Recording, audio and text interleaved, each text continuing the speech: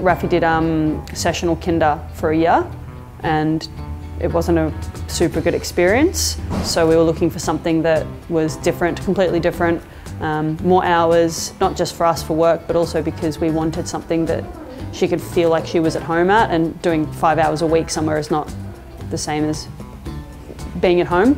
So we looked at a few different childcares and picked this one and it was amazing. She was so shy, so um, nervous, she was freaking out over being left by us and so um, the teachers here were really collaborative and hands-on with sort of getting her into a, a, place where she could feel safe. One of the teachers set up a little play um, area with Rafi and then took photos of her playing in it, went and printed them off, laminated them, and then that day so that we could take them home with us and then Rafi could actually sort of consolidate that um, memory at home with us and tell us about it and had those to look at over the weekend and things like that. So that was a huge thing. Even though there are lots of kids, um, the ratios are such that they can actually provide some like attention when the children need it. The kinders do the excursion to the library and they go to the aged care um, and she loved that, being able to go on a bus, uh, like a real public bus. It's a practical skill. It's teaching them confidence in the real world, which is important, you know, not just for the next couple of years at primary school, but in their entire life. They caught a bus on their own without their parents. They trust the kids. They trust four and five year olds to go on a public bus. That's huge. So I think kids rise to the challenge.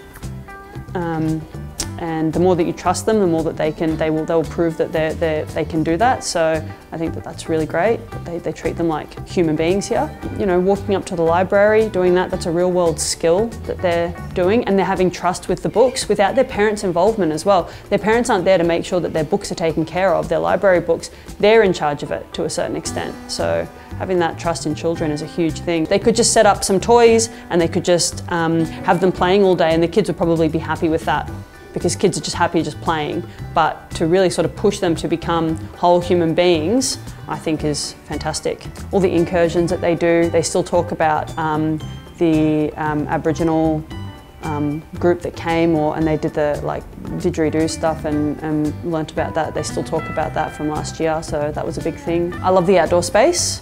I love the way that they encourage children to be outdoors, whether it's playing outdoors or having their naps outdoors on nice days, eating outdoors, even on bad weather days, they still they put them under the cover and still have them exposed to the elements. It's not inside if it's bad weather and outside if it's okay weather. It's they're trying to do as much of that as possible. So I really like that. I think it's important for kids to be outside and blow off some steam. Also have like the worm farm here, which she really likes. They take the veggie scraps from the from Helen, who's the cook and or the chef, and they um, go and put that in into the worm farm. That makes soil, which or you know castings which they then put into the ground which they're growing their veggies from so they're learning from the you know and then they, they make those vegetables and cook them even if it's not a lot of vegetables even if it's not enough it's not a permaculture garden it's a really um, uh, concrete visual and learning activity for them to do to see that you know this creates this which creates this and they're a part of that which I think is really cool. I think that confidence is so important you know when they go from here they go to school and they're the preps and they're the smallest kids in the